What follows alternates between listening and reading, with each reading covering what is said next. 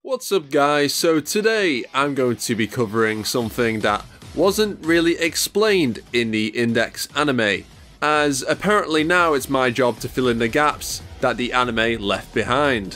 One thing I noticed in the anime adaptation that became even more apparent in Index Season 3 is that Accelerator is hurt on many occasions, and a lot of the time with no explanation as to why.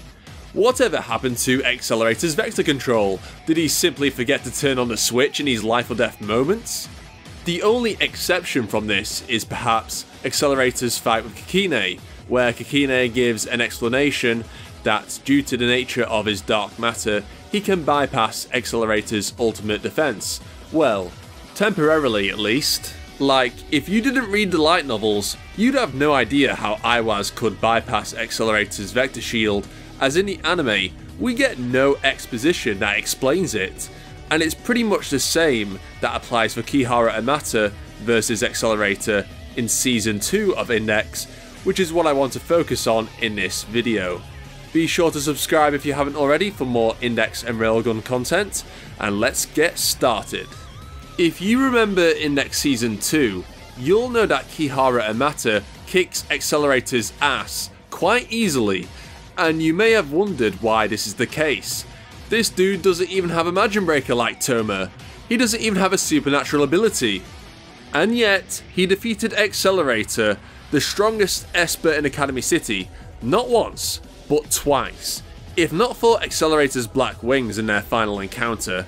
So, how is it even possible for a normal human like Amata to seemingly ignore Accelerator's Vector Shield which is supposed to repel any attacks which have vectors of physics, or have physical quantities of both direction and magnitude.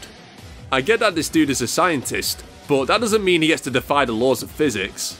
In order to explain this, we'll first have to establish who exactly Kihara Amata is, and why both him and Accelerator act like crazy bastards throughout their encounters, Amata is in fact the person who developed Accelerator's power years before the start of the series, and turned him into the slightly insane Esper we all know and love. Therefore, due to the tests and experiments Amata conducted while researching this unique power that only Accelerator has, Amata obtained valuable information that only a few scientists in the city have access to. This research was later used in the Dark May project, which the scientists attempted to recreate more espers with Accelerator's ability by exposing them to his thought patterns.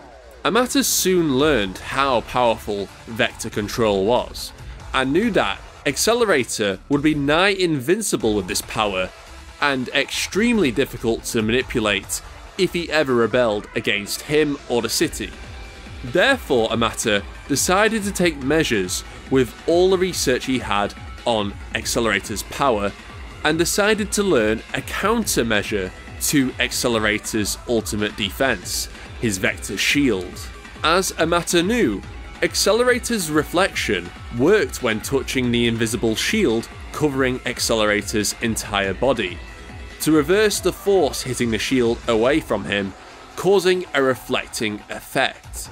Amata discovered, however, that there are a few milliseconds during contact with the shield that Accelerator's power processes the incoming force, performing the necessary calculations to reflect the incoming attack.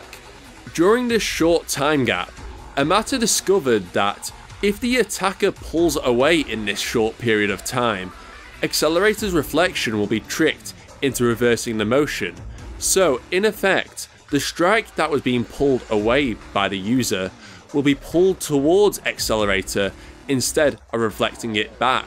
With this technique, which Amata termed the Kihara counter, Amata would be able to complete his punch and in essence bypass Accelerator's ultimate vector shield. Mastering this technique was by no means an easy feat.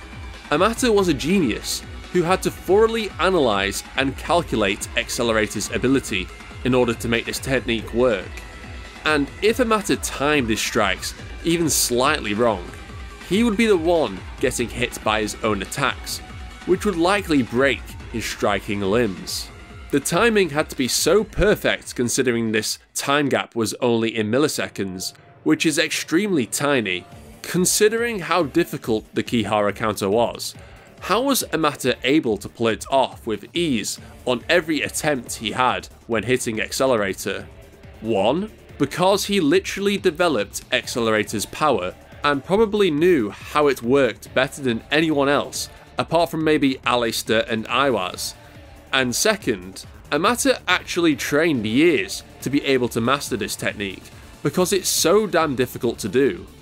One thing I found funny over the years were the people online who claim that Goku or Saitama could destroy Accelerator simply because they could just learn the Kihara counter to defeat him, which is kinda absurd considering it took years for a genius like Amata, who literally created Accelerator's power for him, to master.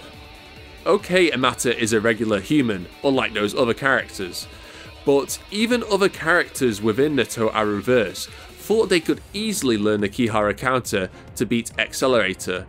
Take Sugitani, a literal ninja and a trained assassin with many years of martial arts experience, and he thought he could use the Kihara counter to beat Accelerator. And guess what? He failed and died. While Goku and Saitama are known for having superhuman speed and strength, what they aren't known for is their intelligence. And that is in the average to low category. You really think Goku and Saitama are going to understand complex quantum physics that is 30 years ahead of the rest of the world? I'd be really fucking surprised. Anyway, I hope this video helped clarify this. If you were curious about how Accelerator got his ass whooped and you never read the Index light novel, Stay tuned for more videos where I'll point out more stuff that the Index and Railgun anime missed, which they shouldn't have. And yeah, thank you for watching, and I'll see you all next time. Bye bye.